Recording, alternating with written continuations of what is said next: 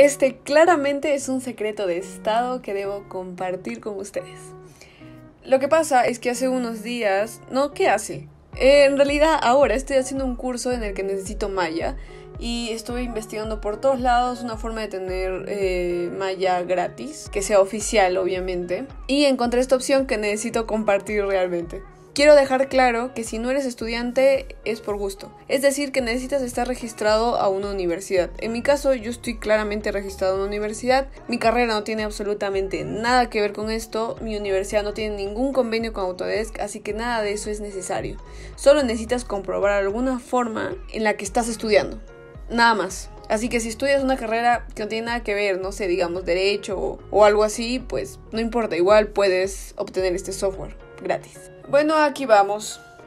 Primero, claramente te voy a dejar este link para que vayas de frente a... No necesitas darle vuelta a las cosas, de frente entras aquí. Obviamente tienes que cambiar, yo no soy de México, pero no hay como que una ubicación específica, simplemente tienes que poner Latinoamérica y ya está, general. Ahora pones de frente aquí, empezar ahora. Obviamente te va a pedir este, que crees una cuenta. En mi caso ya tengo una cuenta, pero me he creado un correo falso solo para poder enseñarles. Así que de frente acá pones tu país. En mi caso voy a poner cualquiera ya. Acá ponen estudiante en función educativa. Tipo de institución, universidad, eh, bachillerato. No he probado si funciona con colegios, así que no puedo confirmar absolutamente nada, pero ustedes pueden probar si quieren. Bueno, claramente no necesito enseñarles cómo crear una cuenta, es demasiado simple como lo harías en cualquier lado. Condiciones ya, crear cuenta. Una vez que creas tu cuenta, lo mismo de siempre, verificas de frente acá. Nombre de tu institución. Llenas simplemente esto con tu fecha, la fecha y tu fecha de finalización, obviamente. Pones continuar lo que sea que te pida. Ya, y ahora ya tienes tu cuenta educativa. Bueno, cuando están aquí, justamente va a decir, aún necesitas confirmar si reúnen los requisitos para acceder a esto de educación. Entonces vas de frente al programa que quieres y en este caso es Maya, empezar ahora. Entonces acá simplemente pones confirmar porque es la información que ya diste antes y es importante algo, no mientan con el tema de la universidad ni de su país ni nada, porque cuando ustedes pongan el país en las opciones de instituciones educativas solo les va a aparecer las de su país, así que no hay forma que estén buscando de otro país o algo así.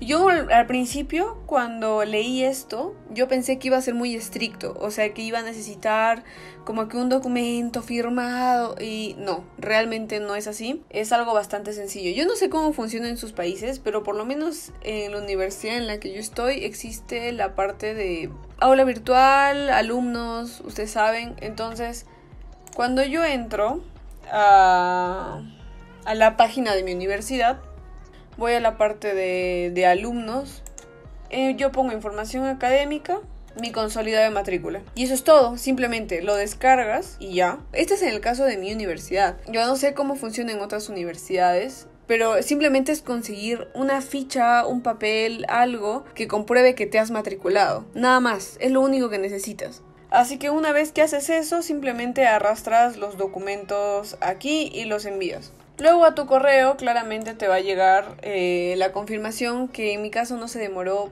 que ni, no sé, ni una hora. De verdad, llegó al toque. Después de haber enviado eso, me aparece este Congrats, you know, have eh, educational access to Autodesk products, bla bla bla bla. Y acá te aparece Get Products. Y a partir de que te aparece esto, eh, vas a poder acceder a todo y vas a poder tener una licencia de un año totalmente gratis. Una vez de haber instalado, la verdad es que la instalación no es nada difícil, simplemente pones instalar, continuar, continuar, continuar. No es nada del otro mundo, así que de verdad no te preocupes. Una vez que lo abres, te abre así.